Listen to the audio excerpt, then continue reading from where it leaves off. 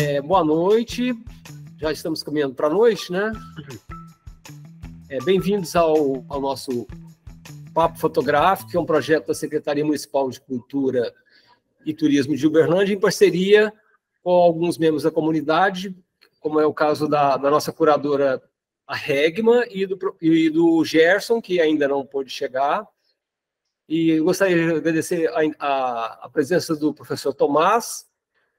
E, e é, só para você ter uma, uma, uma noção geral, Tomás, esse, essa entrevista ela funciona da seguinte maneira: eu vou, eu vou fazer uma breve apresentação sua que você me passou. Tá certo. E depois eu vou, vou passar para você se apresentar e para você é, é, fazer uma, um, meio que uma genealogia, sua origem, de onde você veio. Você pode ficar bem à vontade para tá. complementar as informações que, que, eu vou, que eu vou falar sobre você. Sim. E nós vamos te dar aí uma, uma meia hora mais ou menos para você poder falar. E depois a gente começa com perguntas a partir da sua fala. Tá bom? Tudo bem, tudo bem. Então vamos lá, eu vou ler aqui o texto que você me passou, tá? É, Thomas William Mendonça Harrell é nascido Guillermo Tomás Mendonça Harrell na cidade de México, Distrito Federal. É fotógrafo desde a infância, quando começou fotografando as ruas coloniais de Querétaro, uma cidade colonial do México com a, com a Brownie da família. Ligado para os Estados Unidos, estudou fotografia e edição de revistas, magazine editing, em nível superior em East Los Angeles Junior College. Depois fez pós-graduação em literatura francesa na California State University of Los Angeles. O seu diploma de mestrado tem a distinção de ter sido assinado por Ronald Reagan, então governador do estado. Fez depois o segundo mestrado, o Master of Fine Arts, que no Brasil equivale ao PhD, em cinema e produção de TV na UCLA, a mesma escola onde Spielberg e George Lucas se formaram. Recém-chegado ao Brasil, foi premiado na 14ª Bienal Internacional de São Paulo com um filme experimental em Super 8, Cosmos, 1977, que fundia as imagens de diversos projetores sincronizado a trilha sonora por ele criada usando usados sons da natureza e música eletrônica, talvez usado, usando. O filme é um precursor de Koyaanisqatsi, de 1983, de Geoffrey Godfrey Reggio, lançado em circuito comercial seis anos depois. Em 1977 e 1978, trabalhou como publicitário na Salles Interamericana e conheceu Vincent Logulo, seu chefe, Inizan Guanães, diretor de artes, e a gerente, Selma Marino, no setor de rádio e TV, que o encorajava com a pesquisa de seu livro A Imagem Latente. Durante essa época, conheceu os cineastas Olivier Perroy e Zé Pinto, mas principalmente criou uma amizade vitalícia com o diretor André Tonati, com quem compartilhava a visão indígena que havia sido objeto de seu filme de tese na UCLA, a Mirror in Movement, 1972. Um espelho em movimento. Filme, filme esse confiscado e incinerado pela alfândega em plena ditadura. Depois disso, ele passou a trabalhar como diretor de fotografia freelance com o diretor japonês Nakamura Kiwi e viajando o mundo todo, Nova York, Suez, Cairo, Indonésia, Singapura, Tóquio, além do Brasil, de norte a sul, Manaus, Parintins, Tomé a sul. O senhor Nakamura produziu dois documentários importantes, os anos 90 da imigração japonesa para o Brasil, 1979, e os 50 anos da imigração japonesa para a Amazônia, 1982. Depois de se separar de Nakamura, trabalhou dois anos como linguista no Centro de Linguística Aplicada do IASG, com, com o Dr. Francisco Gomes de Matos. Em 85, mudou-se para assumir a cadeira de fotografia da Universidade Federal de Uberlândia como professor de fotografia, cinema, cinema de animação. Na universidade, quando assumiu o setor de fotografia, dispunha de duas câmeras fabricadas na Alemanha Oriental e compartilhava o laboratório do fotógrafo da universidade. Chefiou o Departamento de Artes Plásticas e fundou o Laboratório de Fotografia, primeiro, com a capacidade para seis alunos, depois para 15. 15. É, aliás, desculpa, depois para 15. Anos depois, equipou a, a matéria fotografia com 14 ampliadores e 20 câmeras Nikon N80, sempre profissionais com todas as objetivas e flash eletrônico mediante um projeto federal de melhoria do ensino por ele redigido. Concomitantemente, participou ativamente da comissão multidisciplinar que organizou e fundou a Rádio e Televisão Universitárias na gestão do reitor Nestor Barbosa Júnior. Foi gerente da TV Universitária na gestão do reitor Arquimedes Diógenes Silone, além de professor de cinema e fotografia do Departamento de Artes Visuais da UF. Hoje aposentado, expõe fotografia tendo realizado mais de 20 exposições entre individuais e coletivos em lugares como o MASP, Museu Universitário de Arte, Casa da Cultura de Uberlândia, MAC USP, Museu de Arte Contemporânea de Jetaí, Goiás, Galeria do Mercado Municipal, Galeria de Finote, Casa Amarela São Paulo e outras. É membro, é membro da academia edu.com. Então, com vocês, professor Tomás, é, fique à vontade, Tomás. Então, como eu falei, você pode, você pode buscar elementos da sua, da, fazer uma genealogia, coisas que ficou de fora do, do texto que você nos forneceu, fique à vontade. Tá certo, Paulo. Obrigado pela, pela apresentação. É, eu acho que até a apresentação já diz muito, dá para ver pela, que naveguei por muitos mares na minha vida, né? Nasci no México, nunca imaginei que um, iria parar nos Estados Unidos, mas um, Aconteceu que aos nove anos de idade, a minha família resolveu ir para os Estados Unidos buscar uma nova vida. Então, quer dizer, antes de mais nada, sou mais um daqueles refugiados, ou vamos dizer, imigrantes, né? Um, nos Estados Unidos, então, já dei mais ou menos, percorri, um, um, esse, você já percorreu esse histórico, mas, por exemplo, ao ir aos, para os Estados Unidos, eu já fotografava. Ou seja, para mim, a, a, fotografia acabou sendo uma verdadeira vocação de vida. Né? E é uma verdadeira paixão. Tanto é que, pelo resto aí da minha biografia que você leu, do meu curto, da minha apresentação, você vê que sempre esteve envolvido. Embora também tenha me envolvido com idiomas, línguas, né? Eu acho que, para mim, a, a estudar a língua francesa, e não sei por que resolvi, acho que resolvi porque, ao ir a um país estrangeiro, percebi uma facilidade com idiomas, com línguas, com comunicação, não é? Então, um, isso me motivou. E estudar literatura francesa é estudar, estudar cultura mundial, é ver de, de, de das ideias de todo mundo iam para Paris, porque a, a, a, França era realmente o centro cultural, foi por muitos anos né, a, da, da Europa e do mundo. É, mas, então, sempre voltando da, da, da questão linguística, fotografia, e a partir de um certo momento na minha vida, as duas coisas se juntaram, fotografia uh, e cinema, porque eu percebi que o cinema era uma vamos dizer, uma, uma extrapolação, um alongamento do, da, da, da fotografia. Não que eu tenha, em qualquer momento, abandonado a, a questão da fotografia. Se bem que eu acho que os dois são, são fundamentais. Né? Tanto é que, por exemplo, alguém me perguntou, eu estava conversando, acho que com o, o Paul Fixo, não me lembro com quem, então, eu mencionei um livro que estou escrevendo, que acabei de escrever, que chama A Imagem Virtual, que também está mencionado, né? que é a história da fotografia e do cinema. Então, meu envolvimento também é cinema, e graças a isso também eu pude fazer na universidade o curso de cinema, que também teve bastante sucesso, porque não só analisávamos a história, inclusive na questão de cinema, é, havia as dificuldades, enfrentamos muitas dificuldades técnicas para, para tentar ensinar cinema. Ah, se bem que, por exemplo, fiz, fiz o primeiro curso de, de animação, animação de cinema, e até convidamos um especialista de Campinas que ainda está ativo, né, fazendo uh, ensinando animação. Então, tivemos o curso de cinema de animação, o curso de cinema que cobria basicamente a história do cinema, como o cinema realmente se evoluiu a partir da fotografia e se tornou uma arte em si. Né?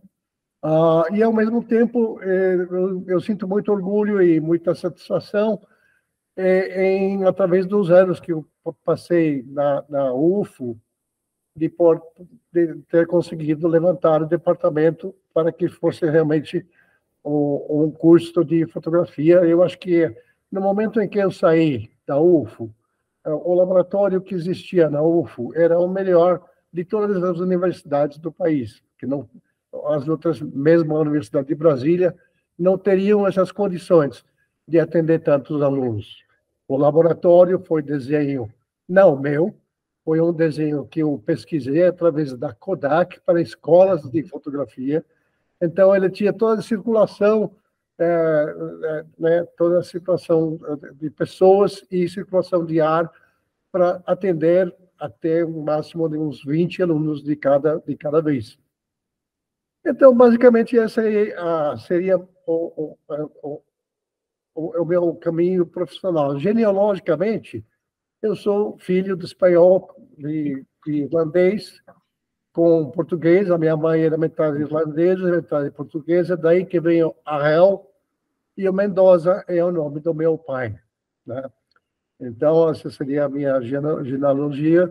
É, já no Brasil, também teve muita sorte, porque logo cheguei logo na época do Super 8, da voga do Super 8 e produzi o filme Super 8 experimental com uma câmera emprestada e submeti a Bienal e acontece que ganhei, o filme foi premiado, premiado por, é, pelas suas qualidades, vamos dizer, experimentais, né, inovadoras. E também tive sorte de ter colocado esse filme na Bienal, onde são esses os aspectos que são mais premiados, né? Que são mais valorizados. Ah, logo, logo depois disso, um amigo meu, não sei quantos da universidade talvez conheçam, ou se lembram dele, o Maurício Nassif, concursou para entrar na universidade e foi ele quem me chamou para a, apresentar meu currículo ao professor Antonino, então reitor, não, aliás, era pró-reitor da, da UFO, que foi quem me contratou e eu entrei na UFO para fazer carreira. Tudo isso sempre com problemas, com dificuldades, porque no momento em que eu fui contratado na UFO, ah, eu não tinha garantia de nada. Trabalhei dois anos, mais ou menos assim, pendurado, esperando haver a possibilidade de uma contratação permanente ou da abertura de, de concursos, que estava fechada. A universidade, como vocês sabem, como o Brasil todo, sempre tem seus altos e baixos e suas crises e seus problemas burocráticos. Então, em relação, em relação a esses pontos, uh, eu acho que uh, isso mais ou menos completa a minha história. Uh, no começo, eu deveria ter aberto essa, essa conversa agradecendo a, a, a, você e, a, e ao pessoal da, da cultura, a pessoa que está é, incentivando esse tipo de memória, porque isso acaba sendo um, uh, realmente uma coletânea de memórias que são muito importantes, porque o papel das pessoas, acho que o Brasil, no Brasil, se preza muito pouco a memória do que as pessoas fazem e do que elas contribuem. E a minha contribuição, eu acho que foi importante, junto com a de tantos outros, lembro de tantos outros professores, que junto comigo, como eu disse ah, no começo, quando eu cheguei na UFO, o curso de fotografia tinha duas câmeras da Alemanha Oriental e duas lentes, e nós dividíamos o laboratório com o Milton. Nem sei se o Milton ainda é o fotógrafo da UFO, né? Ainda sim. É, então, ele já está, já deve estar para aposentar também. Então, ah, esse, o trabalho foi justamente uh, montar um curso coerente que tivesse todos os aspectos da fotografia que eu conhecia, do que, das ferramentas que eu, que eu adquiri durante esse, uh, durante esse tempo, né? Um, chegou alguém aí, né? Uh, Alexandre. Alexandre, eu achei... Mandando um abraço para você aqui. Ah, pois é. Então, e é isso aí. Ah, com relação à história mais recente, tem todos os, todas as pessoas a quem tenho que agradecer, você inclusive, né, o Paul fez, que foi meu companheiro de Uberlândia muitos anos, fizemos muitas coisas juntos, né? E eu acho que eu conheço praticamente todos os fotógrafos de Uberlândia de uma forma ou outra. Eu acho que uh, nós já tivemos uns bons contatos. Não lembro de jamais ter tido qualquer problema com uh, pessoal ou de divergência de opinião com qualquer um dos fotógrafos de, de Uberlândia, né? Um, e seria isso mais ou menos. Eu, eu, eu talvez gostaria de colocar a, a palavra já em aberto para quem quiser fazer perguntas, etc. Se alguém quer saber, por exemplo, eu já andei pensando alguma coisa sobre os caminhos da fotografia, eu talvez teria algumas coisas a falar sobre isso, sobre como a fotografia também evoluiu desde que eu comecei. Eu comecei com uma câmera de caixinha que você enfiava o rolinho, de filme, tirava as fotos, levava na drogaria, que não existia mini lab, não existia fotografia digital, não existia pixel, nada disso. E as fotografias voltavam impressas né, é, para a gente. Então, quer dizer, a fotografia mudou muito, tudo mudou muito é, desde que eu comecei, e talvez eu poderia responder algumas perguntas sobre isso, sobre minha pessoa, sobre minha carreira, para quem quiser, né? Eu não sei quantos estão participando. Eu acho até bom não ter a tela, porque já participei de alguns blogs aí que são mil pessoas aí e dá uma confusão. Estou vendo só seis telas e está ótimo com isso, né? Mas eu não sei quem ah, deve estar escutando, mas eu abro para vocês fazerem perguntas ou então questionamentos. Regma? Então, é, queria agradecer, Tomás, você por ter aceito esse convite para estar aqui com a gente, né? É, o objetivo desse projeto, como você disse, é a gente construir, né, um, um painel aí, né, desses fotógrafos que passaram por Uberlândia, e para nós é uma honra estar te entrevistando, porque acho que todos que a gente entrevistou até agora, né, Paulo, fizeram alguma referência a você. Né? Então, ah. Então, isso é, eu, eu, acho que a sua vinda aqui é muito importante, porque ela vai ajudando a gente a, a fazer aí, né, essa tessitura, né? Todos, de certa forma, tiveram algum contato profissional com você, ou aprenderam com você, ou tomaram gosto pela fotografia e, e, e desenvolveram e viram essa possibilidade, né, é, de, de participar de um mercado, que é o mercado é, também né, com, com, muitas possibilidades, né? E era sobre isso que eu gostaria de que você falasse um pouco, né? Porque eu acho que você vem aí de uma formação, é, até pela sua própria história, né, de vida, né? É, você é uma pessoa global, né? Assim, nasceu num lugar, os pais nasceram em outro, foi morar em outros países, tem essa história de imigrante, né? Então, eu gostaria que você falasse um pouco para a gente é, sobre essa sua perspectiva da fotografia, é, como essa arte que, como, como arte, né? mas também como possibilidades para um trabalho né? no, mercado também, né?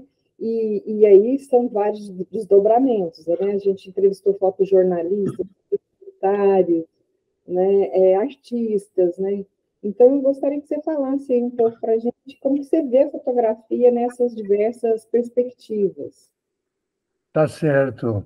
É, você tocou muito bem né, na situação, porque, na realidade, assim, a, a fotografia, o universo da fotografia é, é vastíssimo.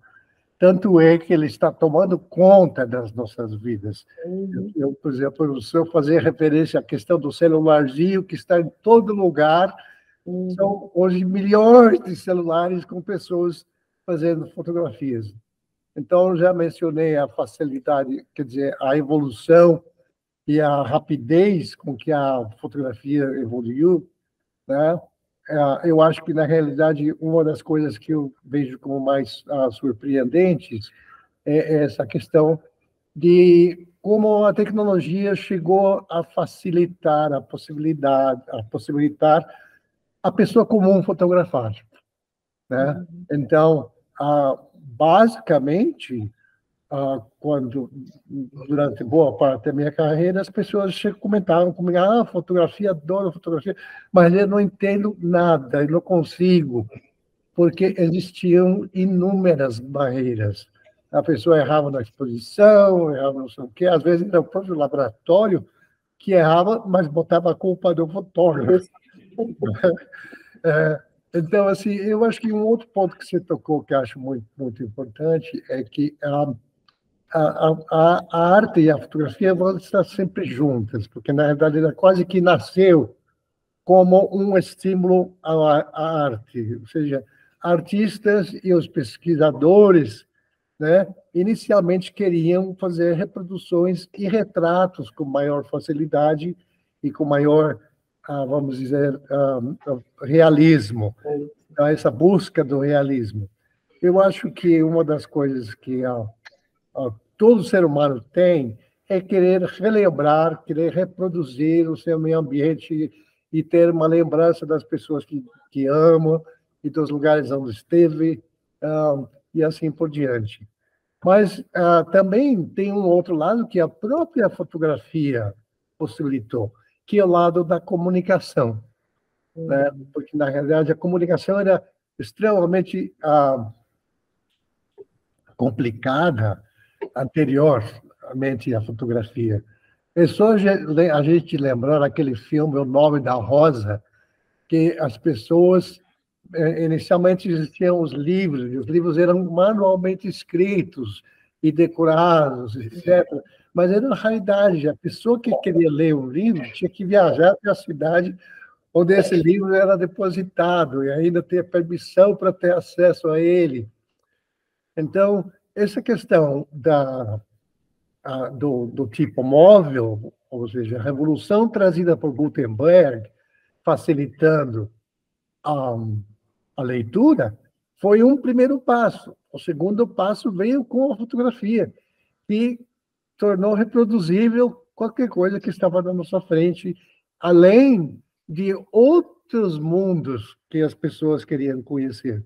Então, uma das áreas da fotografia que mais se desenvolveu, além do retrato, que era o principal, porque as pessoas queriam guardar uma foto de si, do seu ou das suas famílias, foi essa questão da comunicação. Inclusive, estou lendo um livro muito interessante, eu não tá, ele não está aqui comigo, mas posso mandar para vocês pelo grupinho do WhatsApp.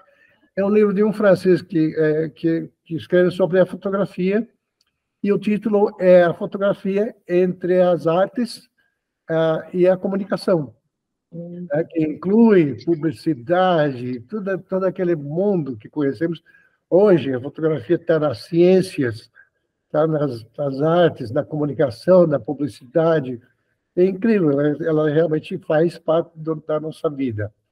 Né? Até certo ponto, vamos dizer, até em certos momentos incomoda de tão presente que ela se faz. E hoje em dia, uma das questões que está se tornando mais uh, crítica ou mais uh, discutida, a questão dessa, da privacidade. Não é a questão da divulgação, mas a questão da privacidade. Da privacidade. É, recentemente fiquei sabendo que foi proibido, não foi autorizado o reconhecimento facial na cidade de São Paulo no, na, nas, em questões do trânsito. Mas já sabemos que a questão da, um, do reconhecimento facial é, pode se tornar uma coisa muito importante, como acontece na China, que uma pessoa pode ser uhum. conhecida, identificada a qualquer momento, qualquer coisa que fizer errado ou não, ela já é instantaneamente uh, reconhecida e uh, pode ser encontrada. Então, tem esse lado da fotografia, mas que vem junto com outras coisas, né? outros avanços tecnológicos, como é a questão da inteligência artificial, né? que venha a, que, que também acaba sendo colocada, né? deve, deve se colocar aí. E a inteligência artificial, em termos da fotografia, também é uma coisa fundamental. Ah, poucos dias atrás, li, li uma matéria sobre um fotógrafo alemão que submeteu uma fotografia a, a um concurso e, e, a foto foi premiada, que era completamente criada por, por inteligência artificial. Então, uma das, uma das coisas que nós vemos hoje, com o cinema já não é tão, já não é tão crítica a situação, porque nós temos cinema de ficção e cinema documentário, mas na fotografia sempre houve esse aspecto da veracidade, de ser. Se, se a gente vê a imagem é porque é. Mas hoje em dia também isso acaba entrando em questionamento. Né? Ah, outro aspecto que só vou tocar rapidamente ah, ah, nele é a questão da volta da fotografia analógica. É, existe um tremendo movimento. Eu até quis voltar à fotografia analógica, porque, ah, fazendo um pequeno ataque nessa, nessa, nessa, fala minha, eu acho que um dos momentos mais incríveis na vida de qualquer pessoa que pratica fotografia é o momento em que se encontra no laboratório e vê a imagem surgir no papel fotográfico. Então, quem tem essa experiência nunca esquece. Talvez um, um, um momento anterior a esse seria ver o primeiro negativo, né? Ah, eu tirei essas fotos e esse aqui é o negativo.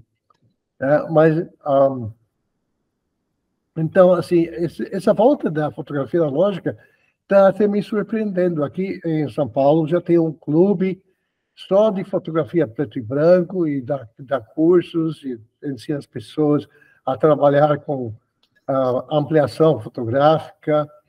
Uh, recentemente também vi um anúncio da Leica que está lançando uma câmera analógica, uh, não analógica, mas uma câmera monocromática ou seja, é digital, mas não tira fotos em cores, só tira fotos em preto e branco. É. Ah, hoje mesmo eu vi um anúncio que a Pentax também já lançou uma câmera monocromática. Ou seja, se os fabricantes estão apostando tanto em fabricar esse tipo de câmeras, alguma coisa tem aí. Né? Também eu, eu recebo os e-mails para quem se interessar em fotografia preto e branco, tem um site chamado Lomography, Lomografia. Esse site da Lomography, eles vendem, facilitam filmes, câmeras, lentes, para quem quer ainda uh, encontrar os materiais fotográficos, que por algum tempo eles acabaram meio que uh, escasseando cada vez mais. Mas hoje em dia, vemos, tem gente fabricando filme preto e branco e colorido, mas filme em rolos, filme analógico, né? Então, é um outro ponto que eu acho interessante sobre os rumos da, da, da fotografia. No futuro, não sei o que dizer né, sobre a fotografia, só, só, vou dizer que ela vai se tornar cada vez mais, uh, uh, mais fácil, mais uh, onipresente em todos os, nos, os momentos. Né? Um, talvez até parte do barato que existe em ver uma imagem né, e depois produzi-la, passar pelo, passei pelo caminho todo, talvez isso acabe, porque se torna tão instantânea, tão, tão onipresente, né?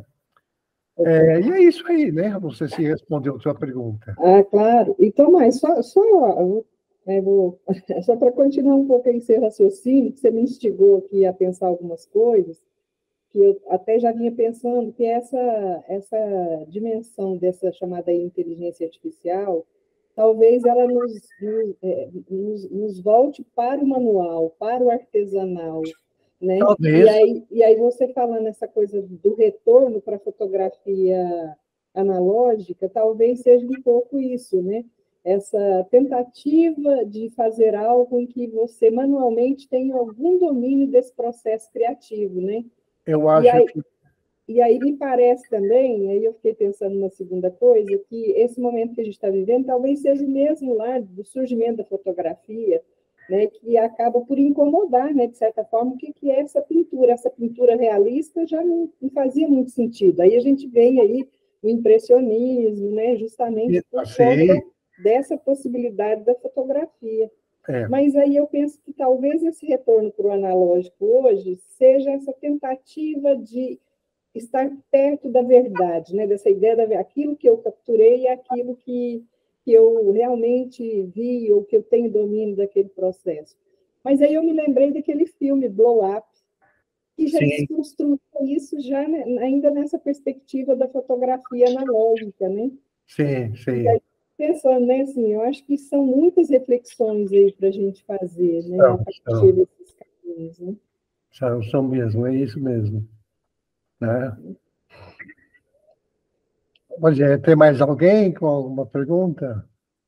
Já fiz uma foto. Não é? Já fiz uma foto, velho. O Fix está falando que já fez uma foto aqui do contexto nosso aqui. Ah, pois é. Com o celular. É, Acho que a Regma, a Regma também já fez uma foto ali, né, Regma? Ah, que ótimo. Pois é, Regma, é, eu acho que esse, esse ponto que você levanta é, é, é importante, é, que é uma espécie de, vamos dizer, uma resposta, quando não uma resistência a, a, a, ao, o que eu diria é a sobrepujança, sobrepujança da tecnologia, porque muito se torna tecnológico, a fotografia se torna tão fácil que de repente então perde o valor. Né? Então, a, apesar de todo mundo querer fotografar a todo momento, depois eles começam a perceber, bom, é uma fotografia tão fácil para fazer, né, que já não tem o mesmo valor, né? Então, é, para valorizar o que o que se faz, é preciso algum tipo de trabalho, né, um esmero, né?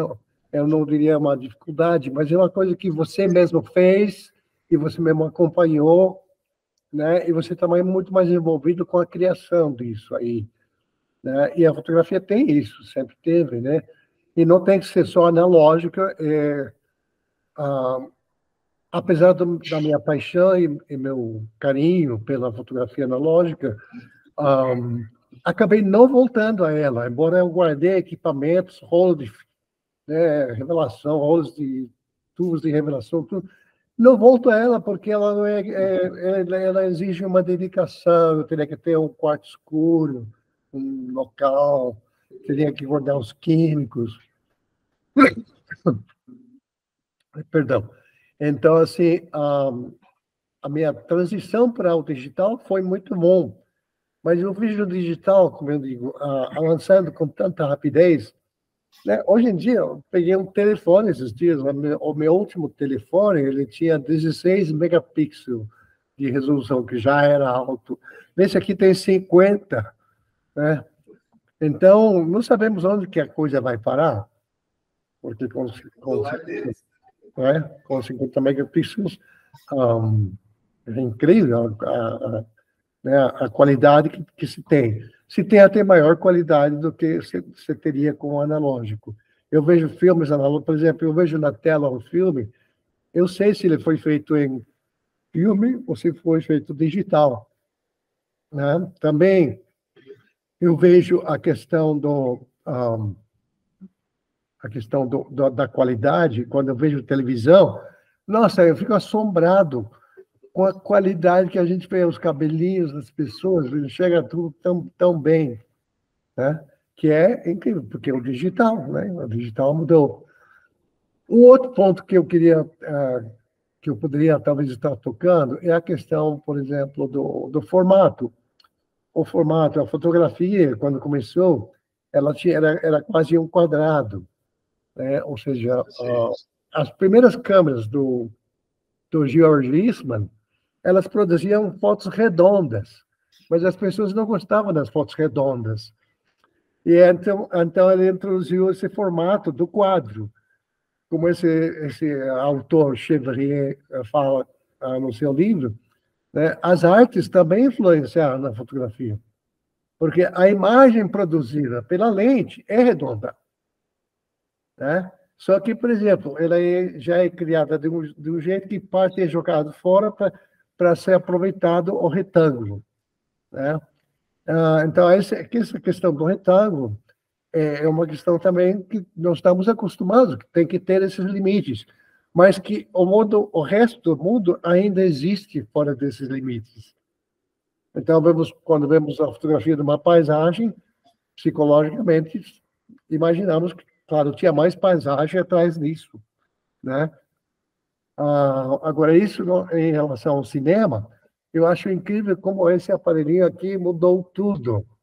Porque hoje em dia vemos tantos filmes, tantas filmagens feitas na vertical. Então, isso é resultado das pessoas inexperientes filmar desse jeito, do jeito que o celular impõe. Então, aí a tecnologia está até mudando essas regras, de certa maneira.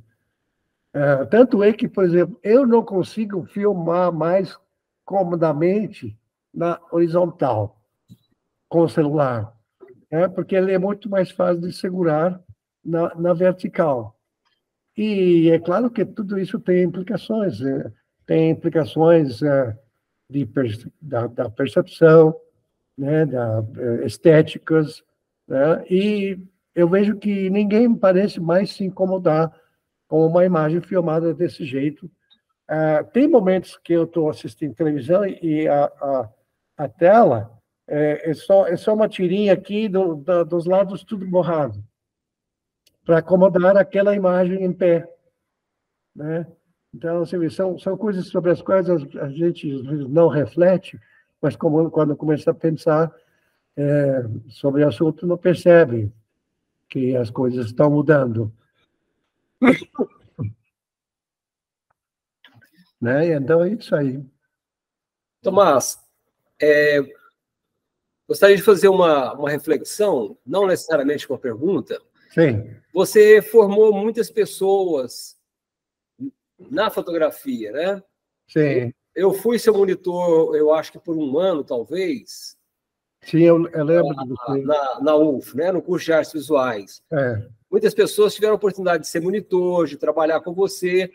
E nós temos aqui, por exemplo, o caso do, do, do Léo Finotti, Sim. Pra, que é o mais conhecido, né, Regma, que nós entrevistamos também, que ele também, inclusive, não só ele, né, mas assim, as pessoas citam você, né? Sim. Como referência da, da, aqui na, da fotografia, do ensino de fotografia, né? Então, pensando assim, é, como é que você vê o, o, ensino de fotografia hoje? Assim, você consegue é, fazer um panorama assim de, da, da sua prática, do, do, de como eram as suas aulas? Se você Sim, mudou, se você mudou o seu conceito de aula, o que, que, que você tem feito assim? Ou se você tem ministrado aulas ainda? É, eu tenho dado cursos, né? Tenho dado alguns cursos. Um curso que eu dei não muito uns dois anos atrás, agora estou menos ativo nessa parte uh, externa, né? E eu estou me, me, concentrando mais na, no, no, material que estou escrevendo. Uh, mas sim, uh, inclusive esse, esse, esse curso, essa conversa que eu fiz de dois encontros foi sobre a câmera do futuro, ou seja, como que vai ser a câmera do futuro, né? Um, então, não há dúvida que um curso é, seria totalmente diferente daquilo que, que eu já um, que, eu, que eu dei. Mas uh, eu diria o seguinte, Paulo, um, eu acho que a parte básica, mesmo que seja só uma pequena experiência uh, estimuladora, seria a, a pessoa aprender a revelar pelo menos uma foto no papel. Ou ter o negativo e ampliar, porque acho que esse processo, essa parte, não deixou de existir. Né? Ou seja, essa câmera do futuro, uma das coisas que eu escrevi no que eu estou escrevendo no meu livro é que não foi inventado nada até o momento que mude as regras dos três princípios básicos da fotografia. Quais são esses três princípios? Uma parte física, ou seja, o comportamento da luz, né? química, a revelação e a óptica. Né? Então, esses, esses, essas três coisas estão aí, mesmo numa câmera celular pequenininha. ah, não sei se vocês ah, estão lembrados do, do princípio da câmera escura de orifício, mas vocês lembram que algumas das primeiras câmeras, a pessoa entrava lá dentro. Inclusive, daí que vem o nome câmera, porque eram, eram caixas enormes do tamanho de um quarto, uma câmera, né? E a pessoa entrava lá dentro para observar a imagem vindo por um pequeno buraquinho, né, numa das paredes que era projetado no outro lado da, da, da, da do quarto, do recinto. Isso era mágica para eles, ver essa, isso acontecendo, mas isso era nada mais do que a luz, né, é penetrando por um buraquinho muito pequeno, ela vai se inverter e projetar a imagem ah, no fundo da, do, do, recinto. Agora, também tentaram fazer maior o buraquinho, só que aí não havia imagem. Porque o que, que acontece? Os raios de luz, quando são muitos vindos de direções diferentes, eles anulam a imagem. Né? Então, assim, eu acho que um, todo o curso de fotografia ainda deve incluir esses princípios, ou seja, as pessoas devem ter, né, poder tirar uma foto, talvez revelar o negativo, ver o negativo, porque muito se perdeu com o digital ah, ao não perceber a questão do negativo positivo. Mas toda imagem, na realidade, é, é, é, é, tem que ter um negativo. Né? Então, esse negativo positivo está aí, faz parte das regras do, do universo. É o yin e o yang. Tudo que existe no mundo tem, tem, uh, tem dois lados, né, no mínimo. Então, eu acho que um curso no futuro deveria ter pelo menos uma introduçãozinha rápida ou até a, a criação de uma câmera de aquela câmera de, de, de buraco de agulha para fazer uma foto. Então, acho que esse tipo de coisa dá um fundamento para a pessoa entender o funcionamento de qualquer máquina, qualquer câmera, né? Ah, então, seria isso. Agora, com relação ao, a outras coisas, né? sem dúvida, no futuro, a manipulação é importantíssima. Assim que eu passei a fazer um laboratório digital, vamos dizer, né, no meu computador, né, um, eu percebi que eu, não, não existe uma foto minha aí fora que não tenha sido trabalhada por mim, né? Porque agora, por exemplo, você, você pega um finote, o Finotti, ele não revela suas fotos, ele, ele se tornou fotógrafo muito especializado numa área em que ele faz a, a arquitetura interiores uh, e ele não, não tira outro tipo de foto. Acho que nem foto de família faz, né? Mas ele, uh, eu lembro que comigo ele disse, ô oh, mestre, ele, ele me chama de mestre, você, você precisa se especializar. Mas, assim, isso vai contra a minha natureza. Né? Ah, eu, eu, talvez pela minha própria formação, que eu já mencionei, né, de ter mudado de país, e sempre eu gosto de situações é, dif, diferenciadas. Então, já pratiquei retrato, fotografia comercial, um, fotografia experimental, uh, etc. Eu acho que, por exemplo, talvez um curso de fotografia para iniciantes deveria incluir talvez essas possibilidades, para que cada um ache seu nicho, né? Vai achar seu nicho, vai, vai, vai tentar entender o que mais gosta e o que mais uh, uh, interessa a ele né? na fotografia. A questão, por exemplo, técnica, é, lentes vão ser sempre necessárias, né? Uh, a luz vai estar sempre aí, essa questão da luz, né? Agora, por exemplo, a questão da acessibilidade, hoje em dia, como se trata de fotografia eletrônica, ou melhor dizendo, digital, é, a sensibilidade é, pode ser até muitas vezes maior do que a própria, da própria visão. Então, de certa forma, e uma das coisas que eu também colocava no curso, é que a fotografia é uma extensão e uma ampliação da visão humana. Ah, então, temos que entender esse lado da fotografia, que ela é um meio tecnológico, é um instrumento que pode até superar nosso olho em capacidade. Tanto é, né, a microfotografia, fotografia espacial, né, essas coisas todas. Seria isso, né, Paulo? Egman. É, então, eu, eu acho que a minha pergunta que eu tinha pensado aqui era um pouco nessa direção, né, dessas pessoas que o Tomás aí, de certa forma, formou, né, e, e desse caminho delas, né, muitos hoje a gente, né, eu vejo as fotos do Omar Lúcio, né, que é um fotógrafo bastante conhecido, né, e que tem um trabalho também muito variado, e hoje ele está voltado mais para a política, né, como ele, como ele disse, né? Ah, sempre ele fotografou política. É, eu conheci o Malúcio quando, quando saiu do exército, né? É, ele estava começando a se firmar, ele me convidou para o estúdiozinho dele, etc. Mas, assim, ele realmente sempre teve esse, esse dom, porque os uh, políticos gostavam muito dos retratos que ele fazia deles, né? Então, é, é isso mesmo. É. E, é, e, isso é interessante, né? Porque você, você fala uma coisa que eu achei muito bacana, que é essa coisa de que você não se especializa porque isso não é da sua formação, né? Isso vai é, né, por essa visão mais acho que mais ampliada mesmo, né, da fotografia, dessa dimensão é, relacional dela com o cinema, né? Até é os seus olhares pelo mundo também, né? Eu acho que, que formaram também uma diversidade bem grande, né? Sim. Nessa perspectiva cultural aí para pensar também a, o exercício da, da fotografia, né?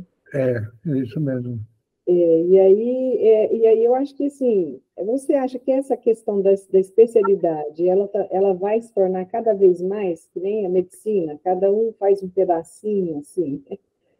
Ah, ou, ou, você acha que essa, né, os grandes generalistas ainda vão vão estar tá aí, ou vai essa coisa vai ser mais é, especializada? O que, que você acha? É, não, sem dúvida, mas eu acho que, por exemplo, quem vai estudar fotografia, uh, porque na realidade se vê, uh, falar em estudar fotografia, eu fiz curso de fotografia, né? Então, no meu curso de fotografia, nós tínhamos retrato, uh, comercial, é, produto, um, arquitetura, reportagem. Né? Então, nós é, tivemos esse, esse tira-gosto de, de, de, todas as áreas. Né? Agora, por exemplo, você vê, o Marlúcio, ele, aprendeu, ele é praticamente autodidata, eu acho que ele começou no exército, é, o Shakur, eu lembro do Shakurzinho, dizendo, olha, eu quero ser como você um dia. Olha só, imagina, ele já me superou, né? o Pacelli, é. né, o Beto Oliveira. Então, quer dizer, na realidade, eles não tiveram a oportunidade de estudar, mas gostaram da fotografia. E, assim, um lugar bom, um lugar uh, ótimo, é política e jornalismo. Então, todos eles já praticaram uh, né, essa área de jornalista, jornalismo e de política, que são áreas né, onde dá para entrar mais fácil. Nesse ponto, falando nisso, a, a questão da especialização, porque hoje em dia a profissão é regulamentada, mas na realidade não existe é, essa regulamentação, não, não, não, exige nada, porque só, é só uma pessoa querer fazer e se especializar e já é fotógrafo, né? Ah, não que eu ache nada contra, porque muitos são ótimos, né? Muitos são excelentes, o Finotti, você mencionou, ele, hoje ele é mundialmente reconhecido como fotógrafo de arquitetura, uh, porque o pai dele é um famoso, maravilhoso arquiteto, né? Uh, o, o, Beto Finotti, uh, mas ele não quis se especializar em. Ele formou em arquitetura, ele é formado no curso de arquitetura, mas ele estava sempre no laboratório querendo aprender mais sobre fotografia. Né? Então, assim, às vezes nem é ele, o nicho dele foi unir a fotografia do pai, a questão da, das linhas verticais, horizontais, da composição geométrica perfeita né, que, ele, que, que ele busca, e ele uniu ao seu gosto pela fotografia. Né? Ele também foi meu monitor, né? como também o Paul Fix foi monitor. Eu sempre tive monitores bons. Ô, Tomás, vou é, fazer uma perguntinha aqui. Nós temos, nós temos poucos elementos para resgatar as memórias dos fotógrafos. É, então, nós precisamos de contar com os fotógrafos, né, que contam, contam um pouquinho também das, das memórias dos fotógrafos com, com os quais você trabalhou e tal. Você poderia nos falar um pouquinho sobre o, o, o seu colega de trabalho, Roberto? O, qual Roberto? O professor de fotografia que trabalhava aqui, atuou junto com você. Vieira. Roberto Vieira. Ah, pois é, Roberto Vieira. Bom, na realidade, não tenho memória é, dele, é, especificamente, quer dizer, colega de trabalho. Na realidade, eu fui chamado para substituí-lo, porque ele tinha um problema de saúde grave e estava afastado do curso de fotografia. Tanto é que ah, é, justamente por isso estavam meio desesperados para contratar um novo professor, porque já fazia alguns semestres que não se oferecia a matéria. Né? Ah, naquela época, a matéria era, era só do departamento de artes, acho. Ah, então, assim, o que eu poderia dizer é o seguinte: eu conheci mal o Roberto, até conheci ele numa exposição que eu estava fazendo, aí ele me foi apresentado, ou aliás, eu fui apresentado a ele, ele falou, ah, você é o cara que está no, no, no, meu lugar. Tá, falei, não, senhor Roberto, estou no meu lugar. Então, eu sabia a resposta. Porque eu, eu tenho fama de, de ser, de, de, de, ser meio irônico em determinados momentos. Né? Mas é, foi isso. Né? O Roberto, eu lembro, sim, e tive pouco contato com ele, porque, na realidade, ele queria voltar ele ficou até o falecimento dele no, na folha de pagamento da universidade, porque ele era praticamente um dos fundadores. Ele tinha uma irmã que era da reitoria, etc. Mas, assim, o que eu poderia dizer do Roberto uh, é isso. Fora um momento muito interessante que eu achei, que ele confessou que estava pesquisando a fotografia Killane. A fotografia Killane, não sei se vocês sabem o que é, é a fotografia de, dos campos magnéticos das pessoas. Foi inventada por um russo chamado Kirlin, né? e a pessoa coloca a mão ou alguma parte, principalmente a mão, os dedos, numa chapa magnetizada e saem, a, a gente pode ver tipo raios de, uh, de magnetismo irradiando da mão, né? o que comprova que somos seres uh, também seres uh, magnéticos, né? somos seres uh, energizados. Então, eu lembro só desse momento com o Roberto, uh, que realmente nunca chegamos a trabalhar juntos. Ele nunca nem, nem foi, até cheguei a convidar ele para conhecer os alunos, mas ele não foi né, na, na universidade para conhecer os alunos. Né? Então, seria isso. É, de colegas de trabalho, bom, por exemplo, eu tenho muita curiosidade de saber se alguém sabe do, do Tarcísio Cerqueira. É. O, Tar o Tarcísio, a gente está tentando contato com ele. Sim. Mas, assim, ontem eu ainda conversei com, com o Eugênio, o Pacelli. Ele disse que o Tarcísio abandonou tudo, ele pegou o equipamento dele todo e pôs para fora do estúdio e meio que jogou tudo para fora e abandonou. Falou: estou largando isso tudo e mudou de Uberlândia e não quis saber mais de fotografia. Sim. Esse foi o relato do Eugênio Pacelli. Mas Sim. aí o Eugênio ficou de levantar o. descobrir o contato dele para a gente incluir ele num, num, papo futuro também. É, porque ele teve um papel importante. Ele era muito, muito influente na, no grupo ABC e ele era referência. É, quando eu cheguei em Uberlândia, ele, ele era referência, o estúdio dele era magnífico e eles construiu um ainda maior, né? Que parece que foi eventualmente uh, comprado pelo grupo de fotógrafos sociais, é um grupo não sei de quantos, né? Que inclui uh, uh, é, os fotógrafos sociais. Essa é uma outra área muito. É esse grupo, é, esse grupo é o Almiro, o Marcelo, o Tarcísio e o Sebastião. Não, Tarcísio é. não. Sebastião e tem mais um outro, o, o Marcos Araújo. O Marcos Araújo, exatamente. É um grupo de quatro, mas é, é, atualmente é. não sei como é que está aquele estúdio. É, pois é. Que é uma maravilha esse lugar. Quem sabe se o Tarcísio topar, quem sabe vocês conseguem entrevistar ele. É, eu, vou, eu vou tentar fazer um contato com ele. É, tá, pois é. Mas então é isso aí. Basicamente, eu tive contato com todos. Eu achei que você fosse me perguntar sobre os mais antigos, que eu, eu cheguei a conhecer, mas também não tive nunca um contato muito íntimo com eles.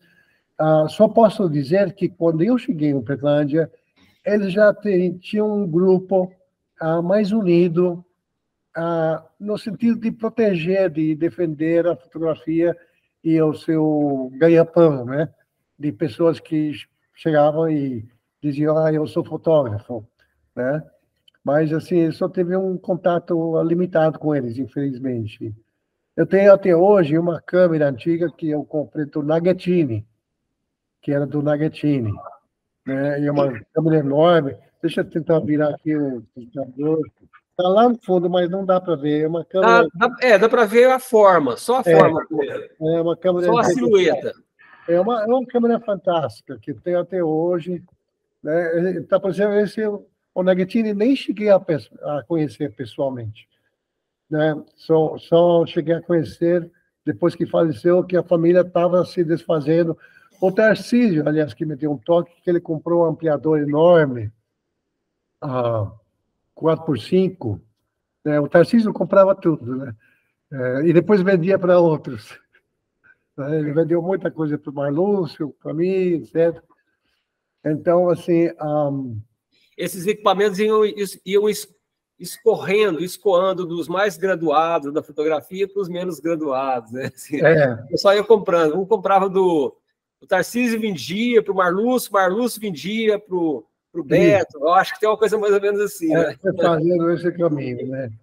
Pois é, mas então é isso aí. Né? Mais perguntas, Regman? Eu só queria que você falasse um pouquinho mais, Tomás, sobre essa sua experiência com o cinema, né? Porque você falou que você teve é, proximidade assim, com muitos diretores, e parece que, se eu, não sei se eu entendi, que você chegou a fazer, né, trabalhar com filmes. Qual que é a sua experiência e, como é que você vê essa, essa questão também, né, do, da fotografia ah, do cinema? Ok. Contato com os índios, né? Você teve um, é... uma experiência também de fotografar os índios, né? Sim, já fiz muito vídeo. É, até Uberlândia eu cheguei a trabalhar bastante com vídeo. Um, outra pessoa que também, não sei, vocês já fizeram o Marlúcio? Já entrevistamos. Já entrevistaram? Sim. Porque ele tem um irmão que trabalha com vídeo e ele é um outro que também trabalhou bastante com vídeo, fez documentário. Eu fiz, eu cheguei a fazer documentários pelo uh, para a universidade vendi um para a prefeitura, uh, que é sobre as cavalhadas de as cavalhadas de, de Nova Ponte. Eu acho que a, a, prefeitura deve ter, não sei, foi era VHS, né? Então não sei se eles têm esse esse esse vídeo. Uh, então cheguei a trabalhar. É, cinema é mais difícil, Regma, no Brasil, né? Ou seja, um, sempre a questão de equipamento, de tecnologia, etc., é, no Brasil sempre foi mais complicada. isso até agora, até, até, vamos dizer, mais recentemente, quando se tornou mais fácil. A partir da digitalização, é que muitas pessoas conseguiram subir e brilhar fazendo filmes, como, por exemplo, uh, um, uh, pessoas de São Paulo, né, digo, de Uberlândia mesmo, né? Então, chegando no Brasil, uh, realmente não tive, tive contato com, como eu disse, com Olivier Perroir, que era um dos, uh, de uma família francesa conhecida, e aí conheci alguns atores, outros diretores. Também teve um período em São Paulo, como eu disse, que trabalhei na Salles, nas salas, o meu papel não era de diretor de filmes, era de produtor de rádio e TV. Mas nessa função conheci muitos diretores, mas trabalhávamos mais com a produção de filmes comerciais, né? Eu, eu mencionei o Andrea Tonati, que é um grande amigo e, por exemplo, quem uh, não conhece deveria conhecer. Ele foi, é, ele foi assim na, na primeira parte de sua carreira, ele até ganhou prêmios internacionais. Ele, ele produziu um filme chamado Bang Bang nos anos 60, né, que o fez famoso. Mas depois disso ele foi se dedicando cada vez mais, mais à questão indígena. E ele ia para as aldeias, filmava os índios, tinha grandes contatos. Ah, um dos últimos filmes que eu vi foi mais ou menos há uns oito anos atrás. Ah, foi um documentário que ele fez, ah, como que chama? Infelizmente não lembro do momento, mas é só pesquisar na internet Andrea Tonati, que vocês vão ver os filmes dele. É Tonati com dois Cs, né? Um, e uh, um, nós tornamos grandes amigos, porque o meu filme de tese também versava sobre os, a visão indígena do mundo. Né? Na, o, o a, filme que eu fiz em Los Angeles, antes de vir para o Brasil. E até vim para o Brasil buscando a oportunidade de visitar uh, o Xingu e de dar continuidade. Né? Então, seria isso, a questão do, do cinema. O cinema também mudou muito, Herman, com essa questão do digital. Eu acho que deu a possibilidade, é, é uma espécie de retorno, porque quando o cinema nasceu com os Lumière, a filmadora que eles inventaram também era copiadora e também era projetor. Então, o mesmo aparelho, dependendo do que você colocava, servia para tudo. E é o que aconteceu com o cinema digital, ou seja, com o cinema digital, não da mesma maneira, mas quase. A pessoa tem um acesso a. É, o, filme não é tão caro. Uma das coisas que eu mais lembro é quando apertava no, no gatilho, o botão de filmar, e você ouvia aquele filme correndo, você ficava com dor de continuar correndo. Uhum. Então a gente nunca fazia tomadas longas. Né? Porque se ouvia está gastando meu filme. Já com, com vídeo, com digital, a, né, a coisa é outra. À vontade. À vontade, deixa rolar, né? Deixa rolar. Então, assim, uh, essa, essa é uma observação que eu poderia fazer. Uh, porque aí, então, o, o, cara tem o vídeo, pode fazer um monte de fitas e os programas de edição estão cada vez melhores cada vez mais automatizados, né? Então fica relativamente fácil, fora a questão de produção, atores, direção, iluminação, que todo é todo é um complexo, né? Para se fazer um filme, até talvez muito maior do que fotografia. Claro que tem fotógrafo que trabalha com muita produção, tipo Shakur, teve que trabalhar hoje, não sei como que ele está. Ah, mas tem aquele que gosta de sair pela rua, sair fotografando. Né? É o caso do Cartier-Bresson. Né? Hoje em dia temos também um fotógrafo maravilhoso, que deve ser orgulho de todo brasileiro, que é o Sebastião Salgado. Fiquei... Desculpe, eu tenho um problema de garganta, e se falo demais, começa a tossir. É, é. Né? Mas então, o Sebastião Salgado é uma maravilha. E ele só trabalha em preto e branco. Nunca vi uma foto colorida do Sebastião Salgado, né? Ah, então, mais um que está numa. Acho que ele trabalha com digital hoje, né? Não com analógico. Mas é, é, mais um caso. Então, o cinema é isso. Ah, ah, cresceu muito e, graças a Deus, também é, salvou a gente de, dos filmes de Hollywood e dos filmes que só, só existiam para fazer bilheteria, musicais e não sei o quê, que se fazia tanto no Brasil.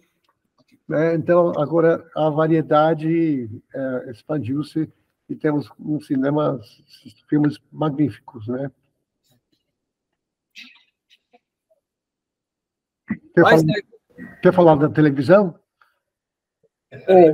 Eu acho que é, eu, eu, fiquei, eu fiquei interessado assim, nessa questão dos índios, porque hoje tá, a gente está tá passando por esse momento muito crítico, né? Do, Sim. Como é que você vê assim, essa questão dos índios entre o momento que você, em que você teve a oportunidade de documentar os índios e hoje, assim, como é que foi a sua experiência? Eu não sei assim, se dá para fazer um, um paralelo, né? Não sei se você quiser fazer alguma reflexão. Sim, eu acho que a reflexão que eu faria é que a situação de, de muitos índios ainda está tremendamente precária, tá? terrível. É, porque, na realidade, além de perder a sua cultura, suas penas, suas vestimentas, seus, seus rituais, ganharam roupas velhas que eles, que eles recebem em malas como doações se tornaram dependentes. Então, existe muito disso. Então, eu não vejo graça em ser índio desse tipo. Bom, são aqueles que conseguem manter a sua cultura, como aquelas grandes tribos conhecidas no Xingu, etc. Né? Mas, por exemplo, você vê os Yanomami, estão, estão em situação difícil. Então, eu acho que existe um, um tremendo trabalho para ser feito em relação à questão indígena, porque ah, ah, ser índio não é só ser primitivo, né? Ser índio é, um, é muito mais do que isso, né?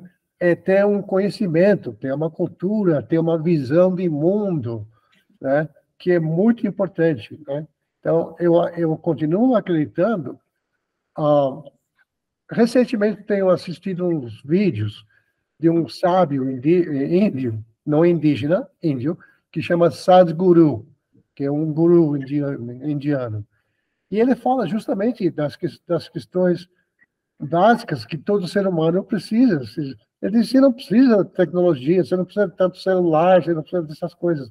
Você tem que fazer uma, é, ele chama de engenharia interna. Porque hoje em dia vivemos tempos em que a, a mentira é, é, reina. Ou seja, estamos uh, cada vez mais longe da, da, da realidade, porque existem muitas realidades não tangíveis. Tudo se torna muito mais virtual, vamos dizer, né? Uh, então, acho que um, uh, e isso é uma lição importante a se ganhar. Talvez tenha a ver com essa questão do, do retorno ao analógico por muitas pessoas, né, que a Régua estava falando, né? Então, é, realmente existe isso, é, é, Paulo. Eu acho que é, tem, tem índios que estão em péssima situação porque estão se perdendo. É, porque, igual a fauna, igual, igual a flora, eles estão sofrendo esse desgaste da civilização, é, da, da parte cega da civilização. Né? Porque eu não sou anti-civilização, é impossível ser anti-civilização. Né? Mas a parte cega, sim. Né? O Paul Fix é um cara que sabe ir para o mato, ficar dois dias, dormir dentro do tronco de uma árvore, etc. É, quem sabe fazer isso hoje em dia? Eu essas, histórias, essas histórias o Paul Fix vai contar para nós em breve. Viu, não, não, eu tentei uma vez, eu morri de frio, fiquei tudo picado de mosquitos, queria voltar para casa. É, não, não, dá spoiler, não, porque o Porfix ele, ele vai falar essa história para nós depois. Você vai participar e vai contar junto com ele, tá bom? Tá, tá ótimo. Tá, ah, eu tô lá, de novo. Tá ótimo, Paulo. É isso aí. Fala, Regman. Então, é, é, você falou aí da mostrar a máquina do Neguetini, e a gente tem tentado é, saber dos outros fotógrafos, e queria saber de você também, do seu acervo se você tem esse acervo de negativos, né, mesmo esse acervo digital, de fotos impressas, né, de máquinas, se você tem, se você, como é que você lida com isso, né, que você foi aí acumulando ao longo dos anos? Então, é, no meu caso, é, realmente tenho um acervo enorme de negativos. Eu estou precisando é, de um bom scanner um, um, um, né, um, um scanner que me possibilite a fazer uma seleção, porque eu tenho milhares, milhares, literalmente, de negativos que eu tenho. Muitos são importantes, tenho uh, tanto negativos quanto slides. Né? Equipamento fotográfico, aos poucos fui me desfazendo, então tenho pouca coisa hoje, mas eu tenho assim um pequeno museu, né, que minha mulher deixa até em casa, né, porque incomoda máquinas velhas. Um, então, esse eu tenho, tenho algumas máquinas, e esse acervo eu estou trabalhando na, de uma forma Nesse, nesse site da Lomography, acabei de, de encontrar um scanner que custa menos de 100 dólares e que você usa o celular para copiar suas fotos. Ele tem uma luz traseira e eu vou até pesquisar isso, porque um dos trabalhos que eu tenho que fazer, além do material que estou escrevendo, que também é uma espécie de legado, né? Não quero deixar, é, seria a questão da seleção desses negativos e do, uh, do arquivamento digital deles. Né? Então, uma boa pergunta, né? que é difícil de lidar com isso, especialmente como, com pessoas como eu, que nunca ficam num lugar mais do que cinco anos. Já estou mais de cinco anos aqui, graças a Deus, que geralmente vou de um lugar para outro e as mudanças acabam fazendo a gente ter que se desfazer. Eu, tenho, eu tinha toda uma biblioteca ah, de livros de cinema, mas deixei a maioria na, na biblioteca da UFO, como também deixei coleções de revistas de fotografia e de cinema na biblioteca da UFO. Então, isso aí deu mais ou menos esse fim. Né? A gente tem que perceber que vai passar para frente e, e tentar pensar bem o que, que vai deixar e o que não vai deixar, porque é muito mais para o lixo. É, é outra pergunta? Não, é só para. Eu queria que você falasse um pouco assim, sobre o seu livro. Você falou que está fazendo aí um livro, né, Imagem Virtual. Sim. Você falasse um pouco para a gente, né? O que, que você está trazendo nesse livro, é, as, a visão que você está aí é, trabalhando agora sobre fotografia. Não, é, na realidade, esse livro, é, é, já estou nele há muito tempo, e não é um livro de novidades. É, é uma história da fotografia e do cinema, né? e eu cheguei a um ponto em que eu percebi que eu não teria capacidade para cobrir a, a história do cinema, sobretudo depois dos anos 60, para frente, porque aí é uma explosão, né? Então seria difícil tratar de tantos movimentos uh, e, e, manifestações, porque aí entra filmes da China, filmes da Índia, filmes de, da, da Jordânia, de tantos lugares, né? Que fica complicado. Então, basicamente, seria um, uh, um material voltado para quem quer conhecer os primórdios da fotografia e do cinema. E por que isso, essa junção?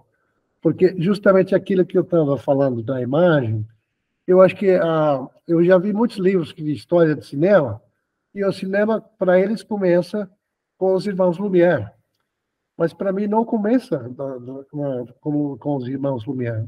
Uma comparação que eu fiz no livro é isso seria como querer escutar a nona sinfonia do, do, Beethoven, começando pela, pela metade, ou no crescendo, onde fica num pico. Né? Na realidade, tem que entender o começo. E aí eu fui voltando, fui voltando, eu me encontrei nas cavernas, nas pinturas rupestres nas cavernas. Eu acho que a imagem, a fotografia e o cinema começam aí, começam nas primeiras tentativas do homem escrever.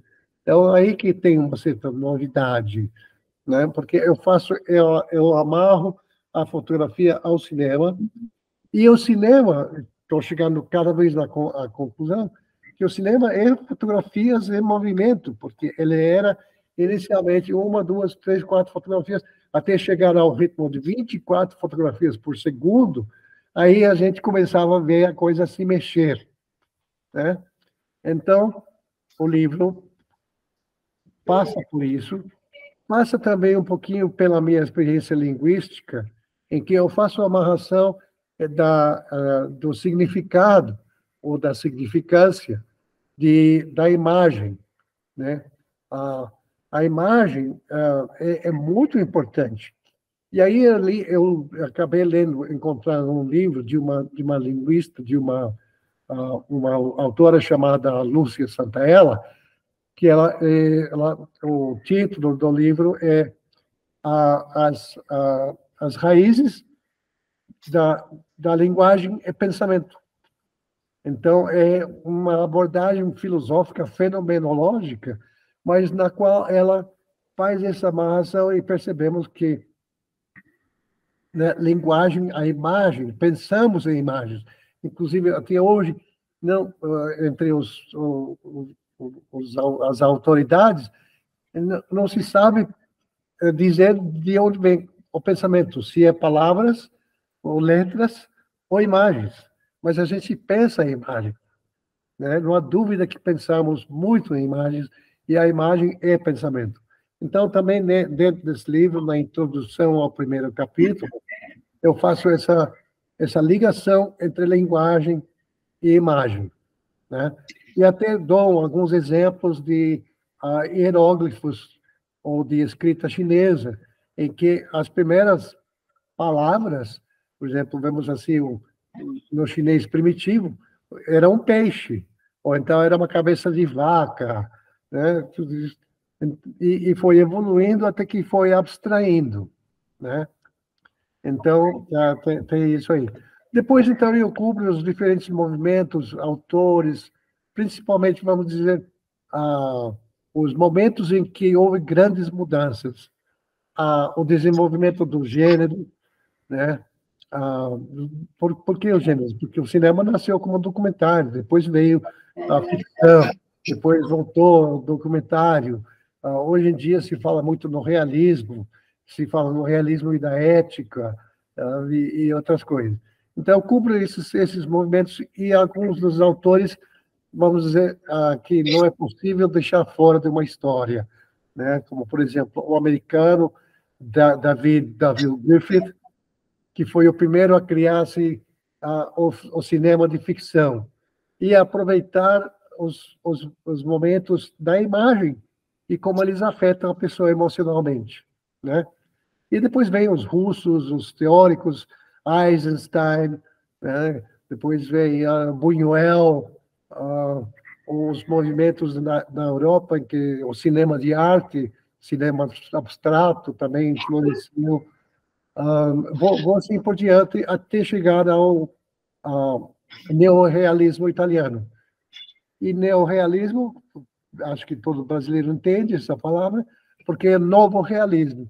É uma volta ao cinema realista, fugindo da questão de muita fantasia, musicais, etc., e tentando voltar a uma realidade.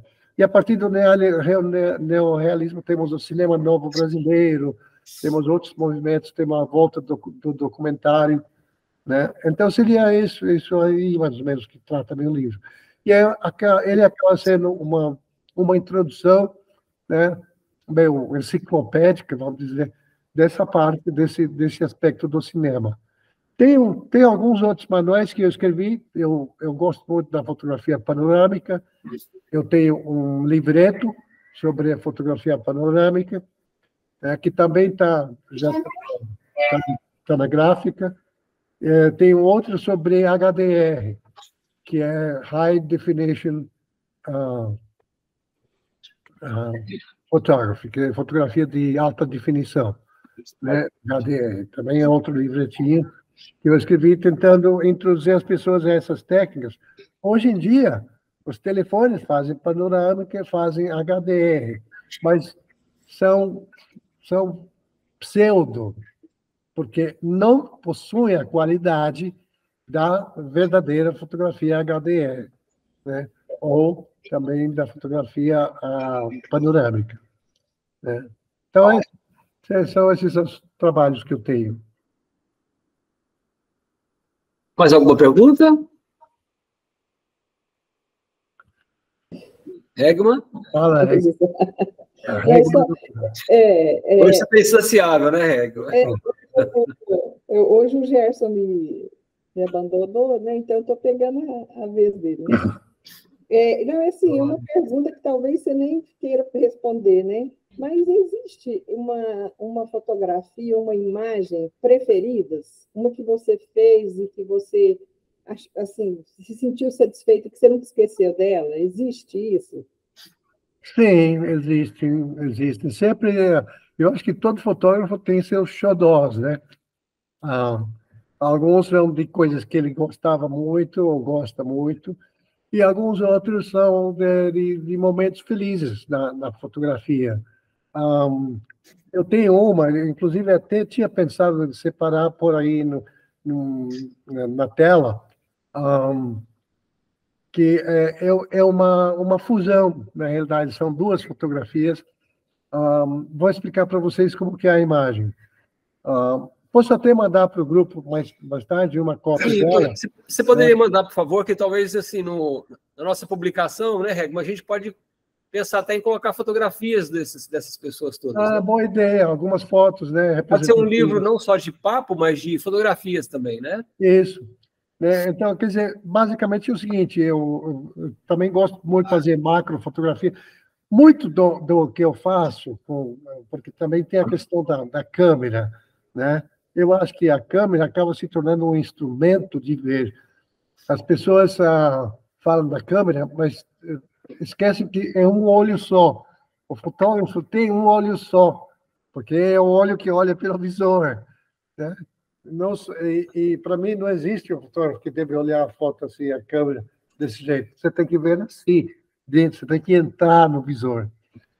Então, ó, eu faço muito macro fotografia também. E um dia eu estava fotografando uma pena de pomba. E eu fotografei uh, ela contra o sol. E ficou muito bonita a foto. Mas num outro dia eu estava fotografando pombas voando. E aí então eu para algum acaso me veio a ideia de juntar as duas, fazer uma fusão e, e a pena com as pombas voando no fundo. Então, é uma das minhas fotos preferidas. E uma foto que recentemente eu faço parte, acho que mencionei aí no papel, os, uh, os blogs e, e, grupos que eu pertenço. E uh, agora em abril recebi uma menção honrosa dessa foto que eles acharam que tinha a ver com primavera, porque nos Estados Unidos agora é primavera. Né? Então, é uma foto antiga, que já é das minhas favoritas há muito tempo. Então, seria essa é, uma imagem que eu realmente gosto muito, porque acho que foi um achado. É, é um momento que eu me senti um Cartier-Bresson, ou um Sebastião Salgado. Né? Ah, então... Ah, Ó, Tomás, para você conhecer, que ela estava escondidinha ali, ó. Essa é a Rosana, desculpa te cortar. Oi, prazer, prazer, que ótimo conhecê-la. Uma outra foto do Regman, você vai falar de duas, né? Para não me... Ah, um outro dia eu estava na, na, na, beira do mar, ao lado de, um, de umas rochas, fotografando água. E comecei a clicar nos, nos momentos que o brilho da água brilhava no meu olho, eu batia foto. Aí, quando eu cheguei em casa e revelei o filme, tinha uma que tem o rosto de um homem desenhado. Né? Eu falei, mas é incrível, é um rosto. Muitas pessoas não conseguem ver, mas eu vejo ainda o, o nariz, o olho, o queixo, né? Todo está tá aí. Então, foi um acaso tão feliz que me surpreendeu, mas que também me revelou a magia que existe aí na fotografia. Né? Ah, então, são, são duas das, das minhas fotos preferidas né, que eu poderia uh, te falar. Agora, então, é, é, uma boa ideia, Paulo. Posso mandar algumas, umas três ou quatro que vocês podem... É, vamos nos falando mais, porque a gente está com a intenção de produzir um, um, livro, uma pequena história da fotografia de Uberlândia, né, Regma? Ah, sim. E aí, além do seu, da, da sua narrativa toda, vai ter também uma, uma ou, ou algumas fotos suas, né? Sim. Inclusive, em algum momento, vou solicitar uma foto sua, retrato seu também. Eu acho que é legal ter o retrato, né, Regra? Tá. É?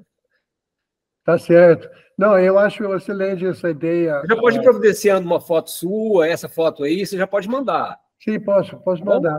Isso aí, isso aí é o de menos. Eu estou aí toda hora, é fácil. É, não espero o livro ficar pronto, porque senão é. a gente vai levar um tempinho ainda. Tá, tá certo. É, pois é, olha, em relação à Uberlândia, eu, eu, o que eu posso dizer é o seguinte: não sei se temos tempo ainda ou não. Sim, sim. Mas, ó, olha, quando eu cheguei em Uberlândia, na, o Campo Santa Mônica não era cercado, não existiam prédios, não, nenhum, acho que existia um prédio que tinha mais, mais de um andar, são os primeiros blocos lá na, na entrada. E, era, era, e também não, não, não era nem asfaltado. O asfalto só, só chegava lá onde, eu, onde hoje é a música, mas a música não existia. Então, eram só uns bangalôs, e tudo terra vermelha. Na época da seca, ventava, e tudo ficava cheio de terra vermelha. Né? Então, assim, a universidade era isso, e ela foi crescendo, foi crescendo, foi crescendo. Hoje em dia ninguém nem imagina como era. Infelizmente, não tenho fotos dessa época, né? Mas o que eu posso fazer é relatar a vocês como que era a universidade. Sim. Então, cheguei na universidade não existia praticamente nada. E aí ela foi crescendo, foi crescendo, foi crescendo, até o a, um ponto onde ela está hoje, que me dá um tremendo orgulho de ter, ter participado desse, desse, desse, dessa instituição. Também você mencionou os alunos com quem eu tive contato. Eu acho que a, a minha maior, maior felicidade é quanta gente eu tive contato e pude né, contribuir alguma coisa para suas vidas, né? Totalmente a minha. Egma? Não, é, é, é só agora. Vou, né, a gente já passou um pouquinho do horário, né? É dizer que foi um prazer né, fazer esse papo aqui com você, Tomás. Ah. E de muita alegria. Então, se você puder depois participar de outros, né, Paulinho? Sim. Claro. E você quer o Bernardo Tomás também, Sim. Tomás? Venha o Bernardo, venha nos visitar, venha é, conhecer o Centro é, de Venha tomar um café. Nós vamos ter um café fotográfico em, em breve. Você me falou, você me falou. É, se, você, se você marcar a data que você vem o Bernardo, a gente faz um café para te esperar. Combinado. Tá certo. Bom? Ok. Então, tá assim, gostaria, em nome da Secretaria de Cultura, agradecer a sua, sua entrevista. É, foi uma honra para nós, né? Porque, a, enfim, foi uma honra para nós por tudo que você representa, por tudo que você nos disse, tá? É. Muito obrigado, muito obrigado a Reg, muito obrigado ao Paul Fix. Obrigado a todos tchau, vocês. Obrigado a todos vocês. Tchau, tchau. Está bem atrás aqui. Tudo jóia. Tá bom?